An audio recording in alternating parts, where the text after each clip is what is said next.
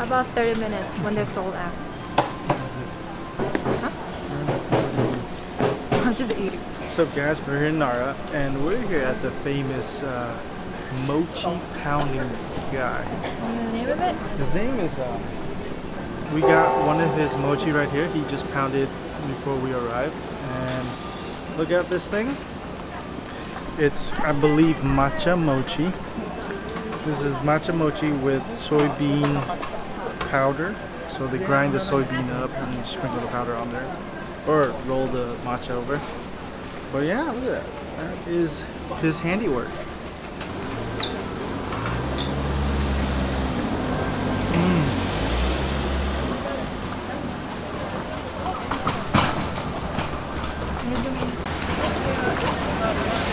Red bean paste inside.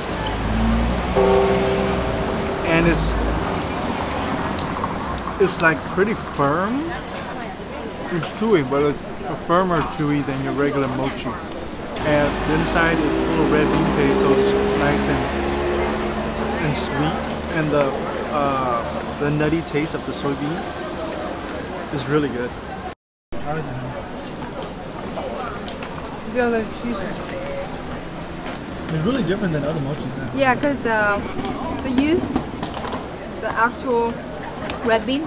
Usually they put the very crown, you know, paste red bean. This one they just boil it like the whole. So it's the whole red bean.